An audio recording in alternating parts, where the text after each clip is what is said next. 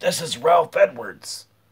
He was a radio and TV host and producer that lived between 1913 and 2005. You've probably seen him in Truth or Consequences and This Is Your Life.